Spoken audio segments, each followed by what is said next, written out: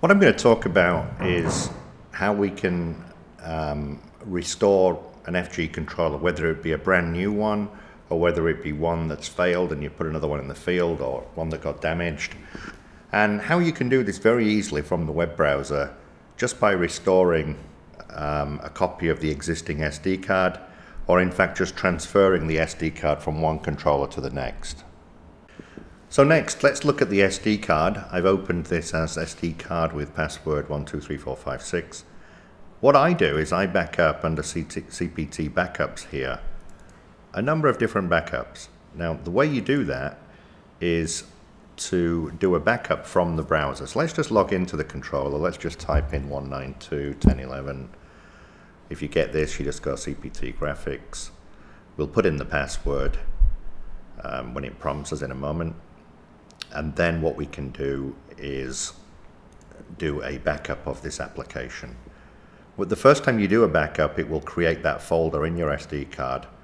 And all you do here is just go backup and put today's date and let's call this, um, um, I don't know, let's call it AHU master.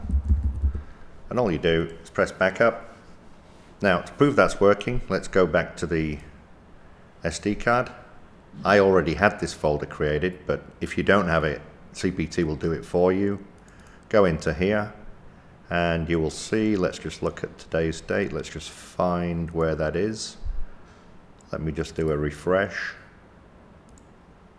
And then up here, there you are, AHU master with today's date. And if I double click, you'll see there's the app file for the Sedona, there's the kits file, and then in the CPT folder, it is now starting to create the backup. It doesn't take that long. Um, when it's finished, it will just tell you it's finished. So I'll just let that run for a few minutes. Well, not even that actually, it's probably less than two minutes. What this does is a complete backup. It backs up all your images, all your links, all your graphics, any special images that you've imported. It really is a total backup. And this is ideal to be used where um, you just want to use a web browser, no tools involved. And there you go, it just said backup is done. So to do the next part, to prove that I really have um, restored this from, as a, from a bare controller, what I'm going to do is flash the firmware.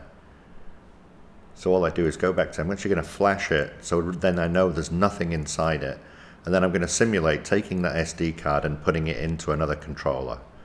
So all I do is just go down to my normal place where I keep my firmware here and just paste this across FG. I'm actually going to put in the 07 firmware.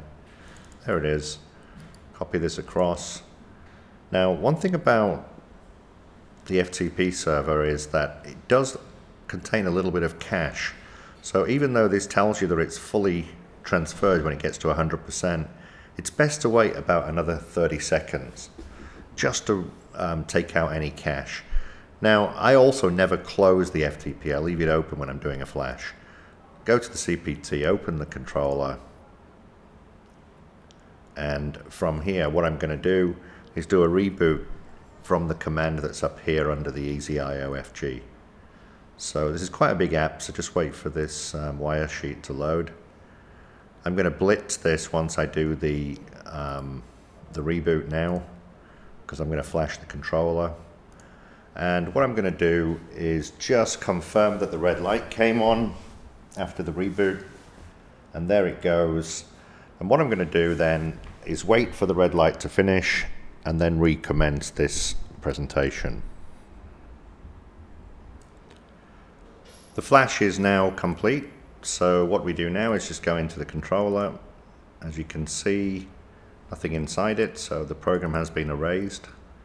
Now, if you want to look at what this looks like, what the backup actually did when we did the full backup before I restore it, let's go into FileZilla and let's just open the SD card again go into the web, go to the CPT backups, and you will see here I've got the AHU master. If you go to CPT and then under app, you will see we have GR data, and these are all the graphics here. That's where they're stored. So um, what I'm going to do is copy this backup now to my CPT backup folder. which is further back here. Let me do, just grab that directory, CPT backups, just highlight it. Literally just take a right hand click and do download. And you can see it's copying all the images and everything. Now, let's look at the structure of, let's just let this finish, but looking at the structure of where CPT is located, if you go to my D drive, this is where I keep it. I'm not saying you have to do it this way, but I do call it CPT development, and I have two versions here. I could delete the last version, but I don't need to. Um, the one I'm using at the moment is this one. The important folders are the graphics, because any um, imported graphics are stored in here, and as you can see, there's a few. If you go to um, files, they're important. Every time you change the IP address, you need to copy the files under the graphics, the .gr files, into the new folder.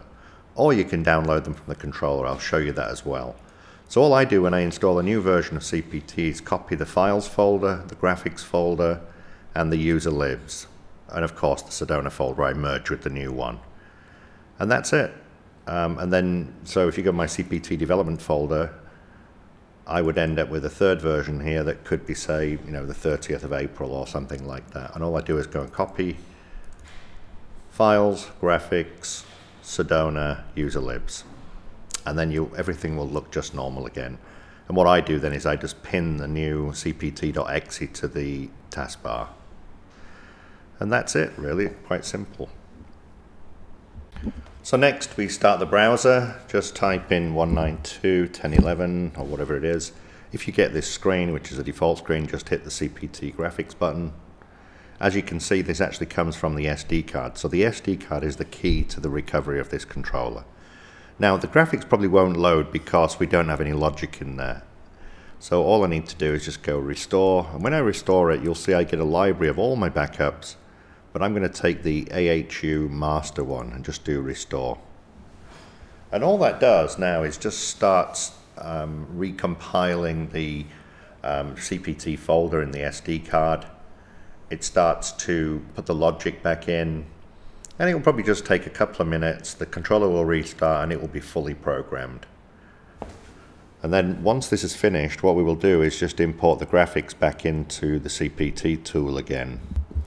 Okay, the graphics have restored. What it will do is um, it will either just fail the browser or you just do a refresh and it will take you to this login screen. Let's just log in again.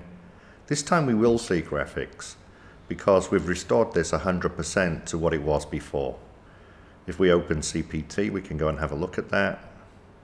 But what I'm going to do before I go to the graphics in CPT is I'm actually going to delete them from the files folder in the CPT dev folder. So let's just get this to come up like so. And what we will do then is go into my CPT dev folder, which is on my D drive, CPT dev, this version, files, 10.11, and you can see I've got all these graphics, and I'm going to delete all of them. There you go. Um, and what I'm going to do then is just go back to CPT close that, go to my graphics. As you see, I don't have any graphics now. So what you need to do is just create a dummy one. I'm just going to call it AA and just do download and it will let, because the controller has totally restored the application, I can now download the templates to make any changes I want to do by just downloading them directly through the CPT from the controller and it drops them in my CPT files folder. And there you go, they're all there. And if you go back to files now, you'll see I have a full list. And I can either delete this here, the double A one, or I can delete in CPT. Let's delete in CPT. Just do delete that.